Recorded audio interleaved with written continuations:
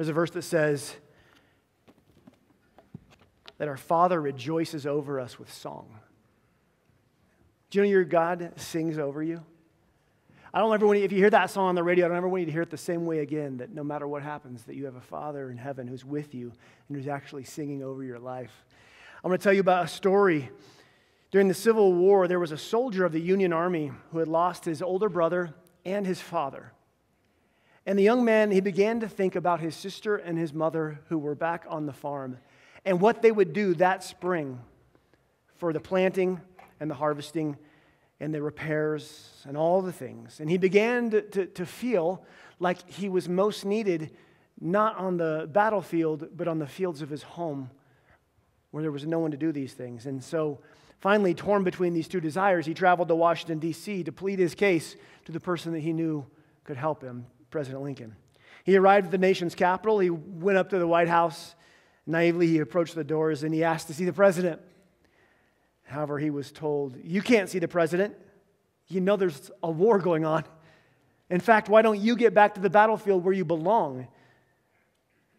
He left, walked away, and he was very discouraged. He walked a short distance and sat there in a little park on a bench near the White House.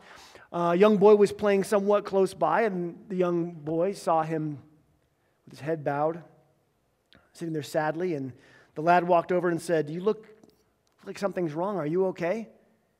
The soldier looked up, and in his grief, he began to tell the little boy just a, a, couple of the facts and how he was here to see the president but was unable to do so. Something amazing happened at this point in the story. The little boy looked at the soldier and said, put out his hand and said, Come with me. And he grabbed the soldier's hand. The soldier grabbed his hand, and the little boy began to lead him around the backside of the White House. In fact, they got there and went through the back door. To the man's amazement, they walked past some guards. They looked him up and down as he walked by. He walked by officials and people scurrying to and fro. And finally, he reached the outside of the president's office, and the soldier did not know what to do other than to do nothing, be quiet and follow. The little boy at this point didn't even knock, and instead just opened the door and burst into the president's office where there was President Lincoln sat at his desk with the Secretary of State looking over some papers. President Lincoln looked up at the soldier and then the young lad and said, Hey, buddy, can you introduce me to your friend? And Tad Lincoln said, Daddy, this soldier needs to talk to you about something. You see, a son has access to a father unlike anyone else. And access is everything. When you have access, it changes everything, doesn't it? I mean, have you ever had VIP passes to an event? You ever been like backstage, on the field? Have you guys ever had these passes where, where, where no one else really gets to go, but, but you know somebody and they got you back? You know? And you got to Instagram the whole thing and put the whole thing up, but you got back there, you got the pictures with the people. Access is everything. And it's everything about our topic today as well.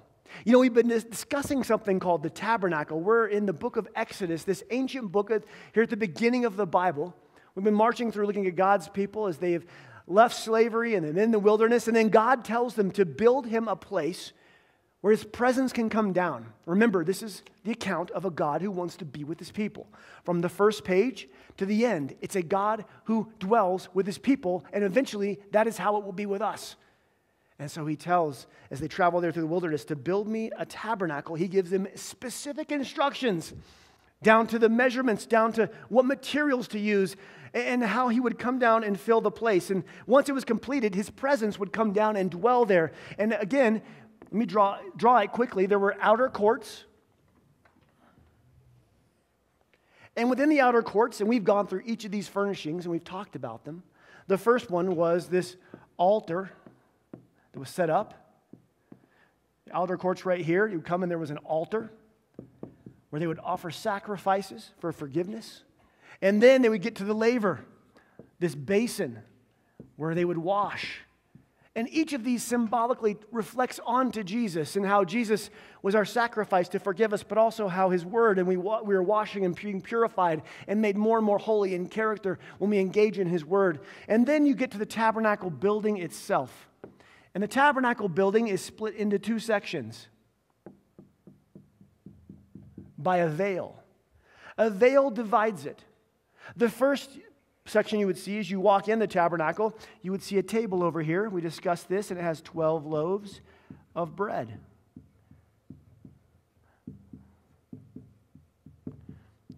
This is called the showbread, or the bread of presence, relating to Jesus being the bread of life. Across from the bread, there would be a big menorah, candles, candles, a lampstand that would light. And then right here, last week or a couple weeks ago, we talked about the altar of incense. And each of these parts of the tabernacle, we looked at how they are a billboard pointing forward to something, or more specifically to somebody. And how back here in, tab- in the Old Testament, God had them build them a place that points forward to Jesus, but it doesn't just stop there. The beauty of what God has done is it continues to point forward, and it's going to be relevant to you today. This ancient structure, and what we're talking about today is right here, it's this veil. We're talking about this today. Because on the other side of the veil is the Ark of the Covenant. And here, this is called the Holy of Holies. Holy of Holies is this part of the room, and this is where God's presence would reside. This is the place where the fire of God would descend and be with his people. And access is everything. In the Old Testament, back when the tabernacle was established, before the cross, the people needed a mediator to go into the presence of God for them. You may have heard of a mediator. Usually in our culture, it's, eh, it has to do with law, right? A mediator goes between two parties. Well, back then, the mediator would go between God's presence and the people, someone who would go. It was a priest, and the high priest would go for sacrifices and for prayer and for forgiveness. A mediator. The tabernacle is divided into different sections, and each one is more sacred and holy and more exclusive than the last all the people would be out here in the outer courts. Some could go in here to the altar, but only the priests could go then to the laver. Even a fewer amount of priests could go into the tabernacle. The priest would go over here to the, to the bread, he would trim the wicks, and go to the incense. But when it came to the Holy of Holies, only one priest could go into that room. And he could only go in there one time a year. That's how exclusive this was certain place, a certain priest going into a certain place. Now, in the, it says this in Exodus 26 Inside the tabernacle, make a special curtain of woven linen, decorate it with blue and purple and scarlet thread with skillfully embroidered cherubim. Hang this curtain on gold hooks attached to the four posts of acacia wood. Hang this curtain from glass and the Ark of the Covenant in the room behind it, the Holy of Holies in the Ark and the room behind it. This curtain will separate the holy place from the Holy of Holies. So, behind this curtain is the Holy of Holies, where the Ark of the Covenant was. And inside the Ark were some amazing elements, and, and God's presence would come there upon the mercy seat and reside there. You can imagine how sacred it is if only one person has access. And they can only go in once a year on Yom Kippur, the Day of Atonement. Then the high priest, to even go in there, had to go through all these rituals of, of every single one of them, all this ritual clean, cleansing to be purified, to be able to go into the presence of God. He, he could have no unconfessed or unforgiven sin because if the high priest goes into the Holy of Holies and was not completely sanctified and pure, it would perish in the presence of God. His humanity would perish in the presence of a holy God. In fact, God commanded Moses to make sure that the high priest wore bells on their robe when they went in. And this was believed so that people would know when they're still alive and moving in there. If the bells stop jingling, we have a problem. In fact, there's another ancient writing that talks about how they, would, uh, they got to the point where they would tie a rope around the ankle of the high priest. Because if the bells stop ringing and something went wrong in there, we have to get him out. It's a holy and sacred place. You can see now how serious this would be, how solemn this place would be. It's a huge responsibility for this high priest to be the mediator between God's presence and all the people who would be outside. Now, he would enter into this holy place, the Holy of Holies, with incense and blood. He would burn the incense there in God's presence and sprinkle the blood on the mercy seat here in the ark for the forgiveness of all the people who were outside waiting. And this moment would have been a sacred moment. They would have waited with bated breath and this holiest of moments, knowing that while they're out here, that inside the Holy of Holies, on that day, there is a high priest who stands in the presence of God on their behalf and who's offering a sacrifice for their forgiveness. He was in there. The high priest would go where the people could not go to do what they could not do so they could live as God desired and be forgiven once a year on Yom Kippur. It's, it's amazing to think about this Holy of Holies in terms of access. One person once a year has to be purified. If not, it could be fatal. And you can see why the high priest would enter the tabernacle. They, they, they, did it daily, but they dared not go in there, and they dared never go in there when they weren't supposed to. And that veil right here hung to separate the divinity from humanity. The veil separated what was seen and what was unseen. The veil hung there declaring no access. No public access, invitation only. And this went on for thousands of years, for, for generations. Sacrifices for the sins of the people, the washing, the bread, the light, the incense, the, the once a year. This went on for generation after generation. High priests would be born and they would die, and then another high priest would take their place. And this went on, and it went on, and it went on. But all this changed on one day in the Middle Eastern sun as a man hung from a Roman cross. Jesus, the Son of God, had been beaten and mocked and paraded publicly through the streets. He was stumbled his way up to a hill called Golgotha, the place of the skull. And there he was nailed to a cross and raised up in front of all so they could see. And he survived there for hours, struggling through the physical trauma of not being able to breathe and struggling through all that his body had endured. And about three o'clock that afternoon, he raised himself up and gasped for breath and yelled, It is finished! And then passed. And he died. Now, Jesus knew this was going to happen. He had predicted that this was going to happen. He came to live and live in such a way to show us how to live, what it looked like to follow God. He also came to die and to offer himself as a sacrifice. And he came to do something that the tabernacle had declared generations previously. Jesus was on a mission. You see, throughout time, the tabernacle and later the temple the people always needed a high priest, a mediator, to go through the intricate rituals and all the cleansings and sacrifices so that God's forgiveness could be for them for another year. It provided them a way to live free from the guilt of sin because someone else went into the presence of God on their behalf. It was always temporary, it always had to be renewed. You had a year, and then the next Yom Kippur, once again, the high priest would pass through every section and then go in on your behalf for your forgiveness and forgiveness of all the people who were waiting outside. It was constant, it was consistent. There was a need there because there was no permanent solution for the answer to sin of humanity. But Jesus came and did something once and for all, separating us from the sin and the curse of our guilt. Jesus came to do the work for us, not as a high priest, but as the high priest, the final mediator It was when Jesus said, It is finished, it was about a lot more than just his death. There was a lot of things that were finished. The entire system and requirements was finished, and a new way had come. After his death on the cross, there was no more need for the altar and the laver. There was no more need for this system and the blood and the incense. There was no more need for mediators. Like all high priests before him, he went where we could not go and he did what we could not do on our behalf. Only he didn't come with the sacrifice of a sheep and the blood of a sheep. He came as the Lamb of God with his own blood and his own sacrifice, giving us access once and for all. But it makes you wonder, because we're here in Exodus.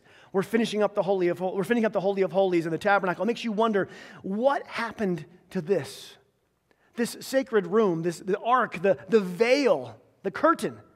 What about that veil that separated these two rooms, that separated the unseen from the seen. I mean, all these furnishings point forward to Jesus, and beyond that, point forward to you in your life right here today. So, what is this veil? I mean, we're going to look at a curtain today. I mean, usually, man, if someone says, We're going to look at curtains today, it's like, Oh, great. Oh, my wife had said that to me. Okay, we're looking at curtains today. We're going to look at a curtain, a veil. We're going to see something today that's going to hopefully bring a new life and understanding to what Jesus has done for you. Did you know that this veil right here is mentioned in the New Testament? In fact, the veil gives us a striking and astounding insight into the work of Jesus in God's plan all the way back to the tabernacle. It's something that can be relevant today. So I want to dive deeper into this veil as we've gone through the tabernacle and stop right here. But first, I want to tell you something. The tabernacle, by the time that Jesus walked the earth, there was no more tabernacle. The tabernacle was a mobile temple for a nomadic people in Exodus and as they traveled through the wilderness. But once the nation was established, almost a thousand years before Jesus, 3,000 years before we sit here today, once that happened, they didn't need a mobile tabernacle. Instead, they needed something more permanent, a permanent structure for God's presence. And so God gave Moses, you know, back in Exodus, the detailed instructions for the tabernacle. But we find that God gave King David detailed instructions for a temple. In fact, he said this to his son Solomon. He, David said, Every part of this plan was given to me in writing by the hand of God. And Solomon, his son, was the one who built the temple. The temple is very similar, although it's different in ornamentation, it's much more complex, it was much larger in scale. It's the difference between how, if you go stay in a hotel for a while, how you decorate that, and then when you finally get your new home and how you begin to settle in and decorate that. The temple was the home, it was permanent. They moved, God moved in. And so there was much more, uh, there was ornate decorations, uh, complexity, amazing things. It was, it was a breathtaking structure to behold. But the sacredness and the function was the same.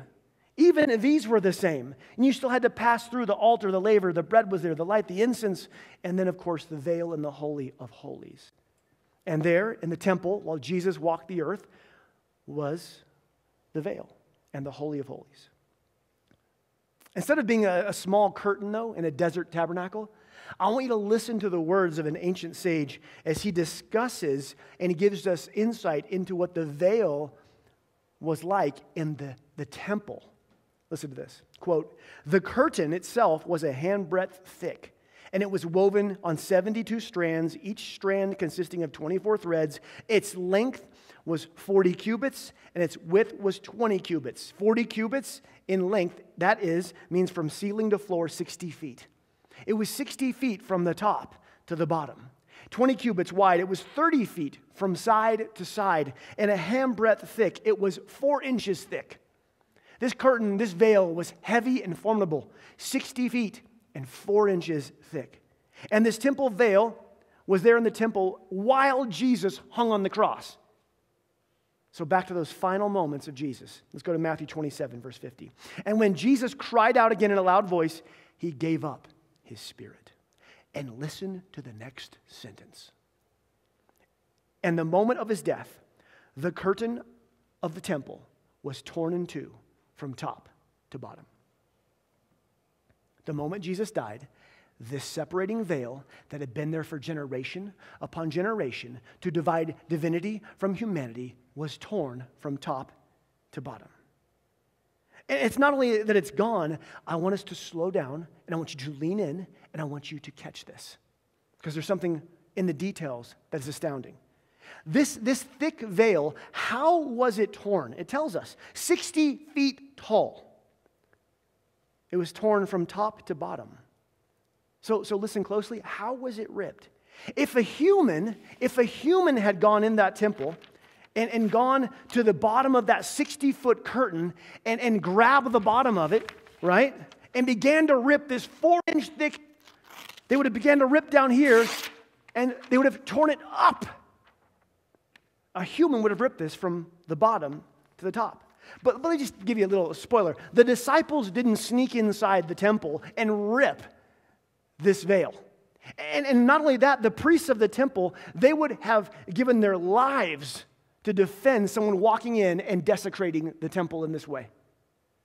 So, who went in there? Who tore the veil? And how could someone do such a thing? I mean, I don't know a human that could tear a four inch thick veil curtain from the, from the top to the bottom. The Bible tells us it was ripped. But who, who tore this veil? It was torn from top to bottom. It was torn from heaven to earth, ripped from the top to the bottom.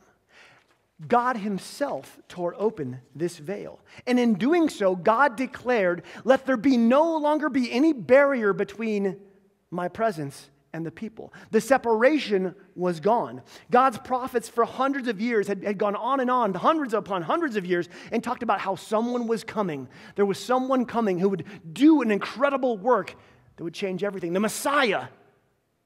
And at that moment, on the cross, when Jesus died, the veil was torn. And when that veil was torn, something changed for you and for me. And it has to do with access. No more sacrifice once a year in the Holy of Holies. No waiting for a priest to walk in there on a certain day of a year to offer a sacrifice for, for us as we waited on the outside. Jesus, our high priest, the mediator. He came to earth. In 1 Timothy 2 5, it says, God desires that everyone be saved and understand the truth, that there is one God and one mediator who can reconcile, make right God and humanity. That's the man, Christ Jesus. He gave his life to purchase freedom for everyone the mediator, Jesus, who on the cross reconciled us, made us right. Jesus, the high priest, the mediator, because of his sacrifice, gave us access to the presence of the Father. Jesus doesn't have to go to the Holy of Holies once a year as a sacrifice, he went there as the sacrifice. And when he died, that veil, the barrier between humanity and divinity, was torn. And because of Jesus' sacrifice, you now have access to something that for generations they didn't have access to. But, but remember how dangerous it was for the high priest to even, even the high priest himself to go in, let alone anyone else. Could you imagine being out here and just wanting to go in there? It, it, it's foolish. Remember the ropes, remember the bells. I, I mean, what, what does access look like for us? How do we enter this? Hebrews 10 19 says this Brothers and sisters, we can boldly enter heaven's holy of holies because of the blood of Jesus. It's a New Testament writing that we can enter the holy of holies. By what? By the blood, by the sacrifice of Jesus. And how are we told we can enter? It says boldly. The Greek word here means confidence, freedom, and it also means a cheerful courage. That you can enter into the presence of God with a cheerful courage. Not because of the work you've done, but because somebody went there for you and opened the way. You don't enter God's presence afraid that He's mad at you. And this is my question for many of us how do you view, how do you think of God? How do you, what do you think God thinks about you?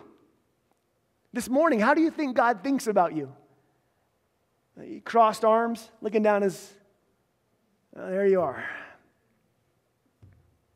Back again, huh? Same old, same old, isn't it? Mess it up again? You back? Well, this time you're going to have to pay even more penance. Like, how do you think God thinks about you? That's a really important question. You're here right now, or you're with us online or listening later. How do you think God thinks of you? I don't enter in anywhere with cheerful courage if I have a God who's going, huh, there you go. Like, how do you enter into the principal's office? With cheerful courage? No. Many of you never went there. Yes, I had my own little chair there. But you don't enter it with cheerful courage and boldly. How do you think God thinks about you? Tabernacle was made open because of Jesus, his sacrifice. And we can go with cheerful assurance because of his work. Hebrews 10 goes on. It says, Jesus has cleared the way by the blood of his sacrifice, acting as our priest before God. Like he did this. The veil into God's presence is his body. And was Jesus torn? Yes. To give us access to God's presence. The veil is no longer the division between you and God's presence. There's no more physical veil, there's no high priestly mediator needed. Why? Because Jesus made the way.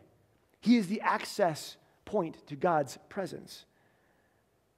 John 14, 6, uh, Jesus says this I am the way, I am the truth, and I am the life, and no one comes to the Father, the presence, except for through me. Ephesians 2:18 says through Jesus we all have access to the Father. No more rituals, sacrifices or offerings. We have full access because of what Jesus has done, not by our good works. You don't earn your way in on this whole thing. No, no, it's because of what Jesus has done. Jesus is saying that he's the final high priest, the final sacrifice. Listen to this in Acts 4:12. Salvation is found in Jesus and through no one else. For there's no other name that has been given or will be given to us by which we can be saved, only one, Jesus. He has given us access and salvation. At the cross, the veil was torn. And his presence, God's presence, is now accessible. Jesus, the way and the truth and the life. And this is so important. This is so important because a lot of times in religions and even the religion of churchianity, we are told that Jesus gives us access to a destination. And some people get saved to get to heaven. Now, that's part of what Jesus offers us, but that's not what he came to give us. We don't, we don't follow Jesus so we just get heaven someday. It's not about a destination, it's that we get access to the Father's presence now. He gives us life and life to the full now. Jesus doesn't say he's the path to the place, he's a path to the presence of God. Now, thanks be to Jesus that he does give us access to eternity. But here on earth, this is good news that in your life today and tomorrow, you have access to God's presence that people thousands of years ago could only dream about. To offer the cross is just that it's access to the Father. Because of the Son, you have full access. Listen, here's another verse Hebrews 4:16. Listen to this. We can now approach God's throne, his presence, with confidence. There's that word, boldly, confidence, cheerful courage. Again,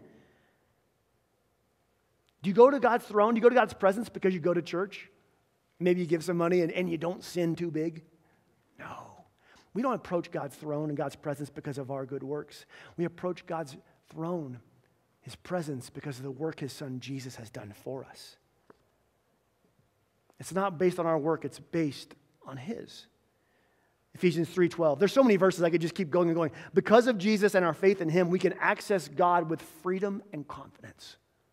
And for many of you, this is what I want to continue to, to show you today is that, listen, and I'm going, to, I'm going to preach myself out of a job. You don't need me. You don't need me. And you don't need a priest. And you don't need anybody. You need Jesus. Jesus went where we could not go to give us access and do things we could not do. And because of him, you have all you need. You don't need me to go to God for you. You don't need a priest. You don't need a pastor. You don't need a minister. You don't need a prophet. You don't need any of that. You have Jesus who went to the place and did it all once and for all.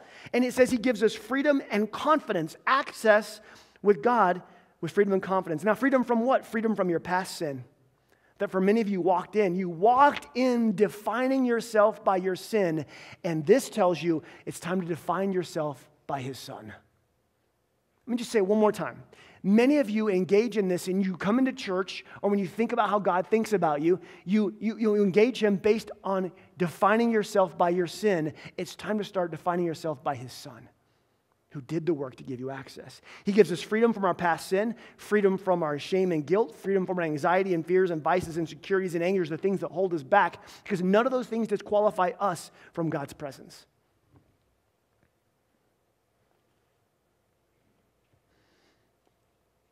And to, to finish this, I know there are a lot of us in here who are new or newer.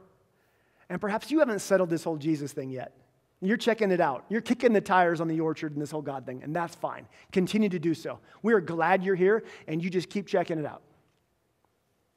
But I want you to know something that we're not, and the Bible does not ask you to come and conform to a religion, it asks you to come and be transformed by Jesus. And He died to give you access to God, freedom from your past. He came to give you peace in your present and hope in your future. And if you're here today and you want to pray to receive Jesus as your Savior, if you want to settle that, I'm going to have some of my friends, um, some men and women in the back corner over here, our prayer team, to pray with you. And I would encourage you to stand during this next song and go over there and say, I want to pray to receive this Jesus. because he gave me access. For others of us, you know Jesus. Let's say that you, you received Jesus a long time ago. It was church camp. You threw a stick in a fire. You got baptized. You did something a long time ago. This, you've been saved. You know, you know Jesus and you know you're forgiven. But you got to admit, you don't, you don't know. You don't know that you're forgiven. There's a difference between what, what you may say you have in your head and what we feel and experience in our hearts and our spirit. For those of you who who you know Jesus, but man, you have drifted and you've wandered and you're wondering what God thinks about you. I'll tell you, He, he loves you. He, he sings songs of rejoicing over you. And He calls you and welcomes you home and watches for you. He doesn't meet you with closed arms, He waits for you with open arms because His Son died for you. And if you're here today and you're re engaging or you want to re engage in your faith, I want you to listen, during this first song, as you, as you take communion, I want you to sit there with the elements and I want you to pause and I want you to thank Jesus for his, his sacrifice. I want you to ask forgiveness for your sins. Then I want you to praise him because the body and the blood of Jesus and his sacrifice have separated you from that. And then take communion. And finally, for another group of us who are following Jesus,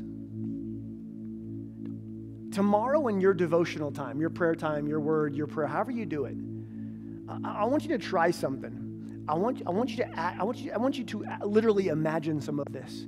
Accessing the presence of God. Because you are able to walk through, because you know the Son, you can walk through every section into the presence of God, and He welcomes you. So don't pray a laundry list of needs and just read the Bible looking for a nugget for the day. Go into God's Word looking for His nature and pray and seek His presence.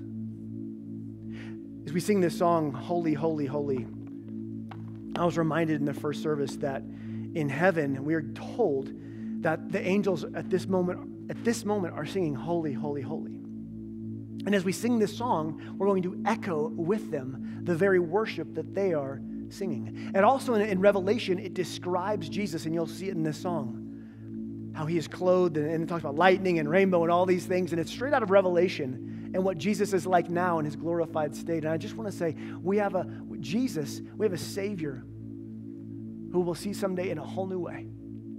And as we worship, and as you stand and engage, you can worship knowing you have full access to God's presence because what Jesus has done. So let's get communion. Let's pray. Prayer team in the back.